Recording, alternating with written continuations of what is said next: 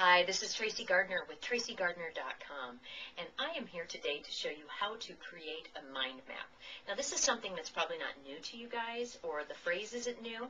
This is something I started using probably back six years ago and I use a software called Mind Manager which is powered by MindJet.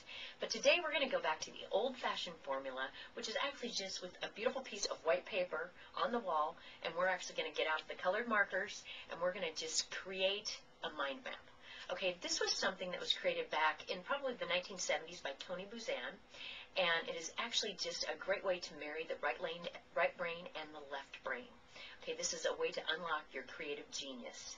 Now, usually when we are note-taking, what we have done and what we've been trained to do is actually in a linear fashion where you're um, actually going in an outline form.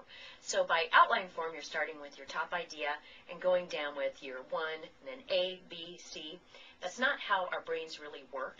So the best thing is to use a mind map where you create a central idea and then you build off in branches, sub-branches. You use keywords, key phrases. You use um, color, um, different color for each of your areas. And then you also use um, emblems, pictures, you know, anything that the brain can remember. And it's a really great way to, like I said, unlock your creative genius and work through a lot of brainstorming issues. So here's what we have on the wall. We've just taken a piece of paper and we put it in landscape form, which is one of the keys here. So I have all my markers, and what I do is I usually just start taking off the lids to them, so it's just, you know, if I'm getting in my creative genius, I like to actually have them readily available. So I will do that. Now, for the central idea and the topic today, we're just going to do it on me because this is a simple exercise that you could do for yourself just to get down the idea of mind mapping. Okay, so instead of me drawing a lovely picture of myself because I am not an artist, we have decided to actually take a picture of myself and just put it up here for cheating's sake since I am not the artist. So what I'm going to do is actually draw my first branch, and the idea with your branches is you want to make them kind of curvy. So right here, my first one, I'm going to put that I am a mom. Okay? Second step, or the second one, I'm going to put um, that I am a wife. The next one, you could put job, business. I'm going to put um, business owner. And I'm a lefty with not the best penmanship, so excuse any penmanship. The next one I'm going to put is hobbies.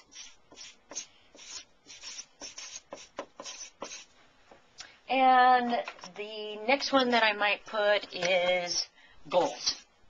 This can be anything. I'm just giving you some examples. You can do um, mind mapping actually on your to-do list. You can do it on a trip, an event, planning an event, planning a training event. You can do it for brainstorming. If you're implementing a software system, you can use that to start um, doing your brainstorming. So it's just a great brainstorming tool. And so now what we're going to do, we've kind of just made some main categories here, or main branches as they're called. And I'm going to just put some other branches off to that, the main ones that I've created. So as a mom, I have three children. And there's no right answer to doing this. I don't want you to think that this is exactly the way you should do it, but just get your creativity flowing. So my three children, I have Grady, Bailey, Mitch. Then I can actually even expound on each of the kids, and I could put Grady, you know, um, teenager, I can also put that he's um, athletic.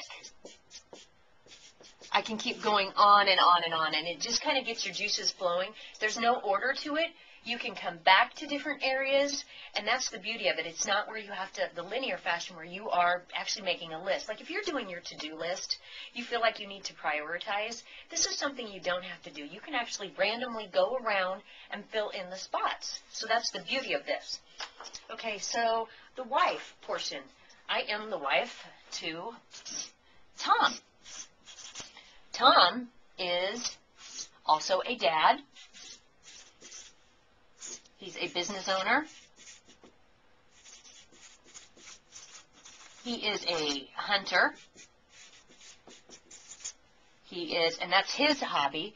and then I could go into his business, um, same thing, the kids, um, many different areas that I could branch off into. Business owner. Okay, I am a coach, consultant, trainer. Um, I motivate, inspire, and I can just do a branch off that. And as you see here, all I've used is keywords. There's not more than one word. You can use a key phrase if it means something to you, but our brains don't think in sentences. We think in keywords and key phrases. Um, I can actually, um, as a, let me, I'm looking for something that I can do. Oh, I know. For Tom, I can put a heart because it's great to use emblems and photo or you know art. And there's some of you that are amazing artists and we'll just have so much fun with this. But this is the way to as I'll put uh, phrase it bling it up and make it your own and really have fun with it.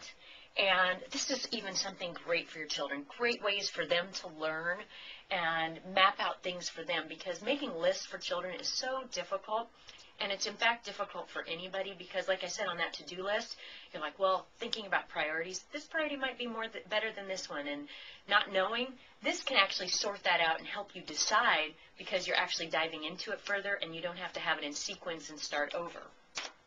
So, like um, under hobbies, okay, one of my hobbies. I know it sounds boring. Work. Um, I love to read on self-help.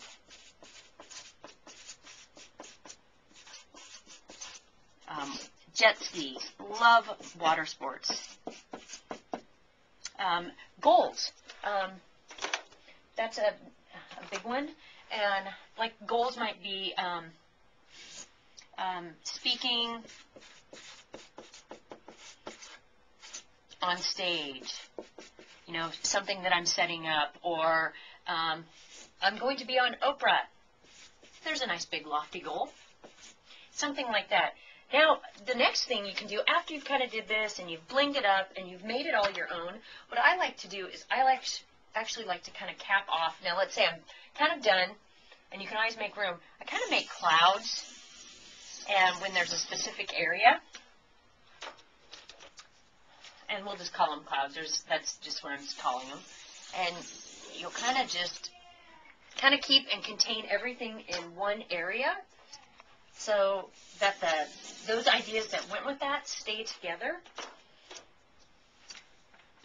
And we are almost finished with this. I didn't bling it out as much as I could bling it out for you, but to give you the general idea, you can see now, and like I said, this can be used for planning meetings, planning events, planning any training events, planning a speech, even if it's a speech topic, you can actually put all your topics in here, um, writing an article, like I said, your to-do list. Going on vacation. You start with your central idea of a vacation. You could even put a picture of where you're going or where you want to go and how you're going to get there and making um, your airline reservations, shopping, your pre-shopping, whatever that may be. So this is just a great tool. So this has been phase one because the next video I'm going to do, I'm actually going to use Mind Manager Pro, which is powered by MindJet, and I'm actually going to use that because that's what I use for all my clients. When we get on the phone or we are in person, I build them a mind map of their marketing strategy. So anyway, this has been Tracy Gardner, and I hope you find this exercise useful and actually share this with your friends and family. Thank you.